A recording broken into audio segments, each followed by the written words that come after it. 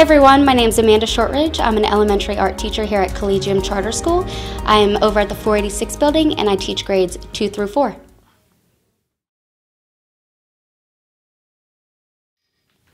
A typical day in my life begins at 8 o'clock in the morning. I head out and help the parent pickup line.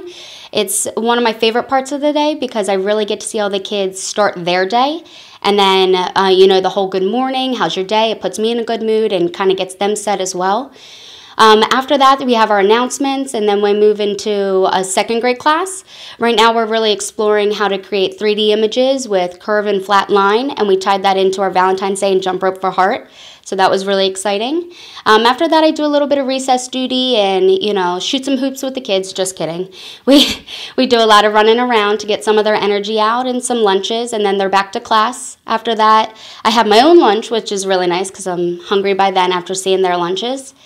I'm in third grade right after my lunch, and then I get a chance to dive into the color wheel with them. We're doing a little bit of pop art, so that's exciting. And they're learning about complementary pair colors and how that applies to sports teams with our yellow and purple, our red and green, and our blue and orange.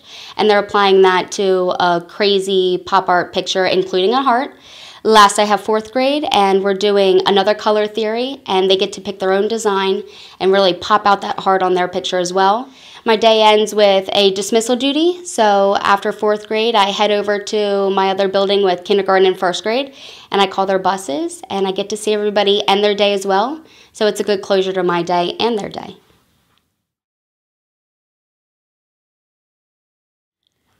So it's really hard to narrow my favorite thing about Collegium down to one sole thing. So I broke the rules and picked two. First thing is the ability to really reach every child. As an art teacher, I have them only once a week, but I have them long enough to really be able to talk to every child and see what they need. Here we have so much support and so much ability to reach every child that I get a lot of those light bulb moments. So it's nice to have one child and have them start at one deal and then watch them literally progress, have that light bulb, and then all of a sudden they get it. And then they turn around and help somebody else. So it's really nice to see them learn their own skill and then be able to pass it on and work together with a peer.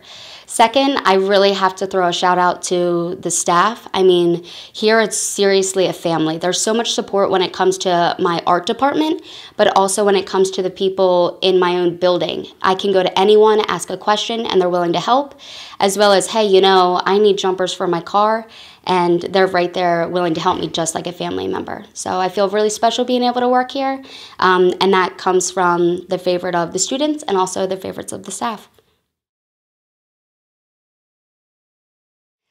A lot of my day is happening inside of school, but I also have a lot of hobbies outside of school. I've played volleyball my whole life, so on Mondays I go and join my girls that I've been playing with since I was 14, and we play all the time outside of that as well, which is really nice, especially when it's warm out. I also do a lot more things outside. I'm a really big gardener. I have a huge vegetable garden at home. I have fruit trees, I have nut trees. Um, I also have beehives, which is really exciting. They are kind of dormant right now, taking a sleep, hibernating like bears do, but they're about to wake up soon, and so are all my flowers, so I'm really excited for that. Shaking, I don't even know why. Yeah, that's one where like I have to remember not to trail. Can I read my thing really quick?